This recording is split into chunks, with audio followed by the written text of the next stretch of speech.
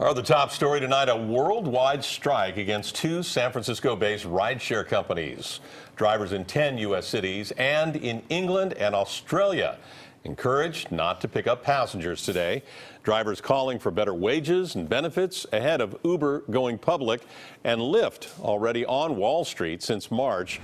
KPIX 5's Melissa Caen joins us now with how the strike went. Melissa? Yeah, we're here at the Uber headquarters on Market Street in San Francisco. And of course, regular rush hour traffic is going just fine right now. But that was not the case earlier when drivers and activists shut down this entire block of Market Street from Polk all the way to Van Ness for about an hour.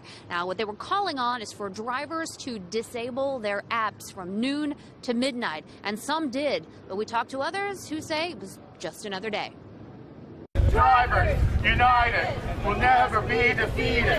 At around 11:30 this morning, a handful of rideshare drivers and activists marched from San Francisco City Hall to Uber headquarters just 3 blocks away.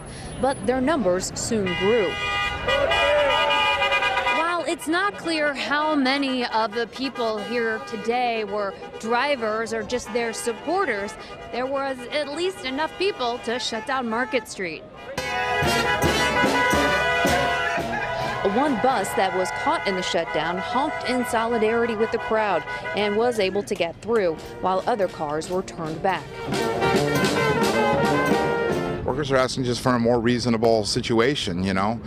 Well, Jeffrey Perry lives in Sacramento but drives for Uber in San Francisco.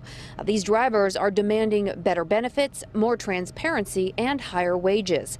But Uber points to a study that shows nationwide their drivers earn an average of $18.65 an hour, but that's before expenses. The, the collaborative effort that's gone into this and the, the, the multiple cities across the U.S. and then internationally as well for a group that's that's by nature very isolated for this to come together this big, that should tell people there's a real big problem here, and it's systematic. Drivers united will never be defeated. But not all drivers are unhappy with Uber. I'm very thankful. Thank God to Uber. You know, I'm a very successful self-employed individual.